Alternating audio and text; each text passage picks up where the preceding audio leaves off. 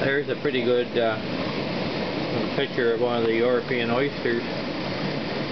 He's opened up there feeding right now and uh, you can see the new growth on him there where he's been enjoying the food and putting it into growing shell and uh, as he's growing shell he's conditioning inside as well. They, uh, I've found that uh, if they're getting food enough to grow shell, then they're getting all kinds for conditioning. So he's a happy little oyster right now.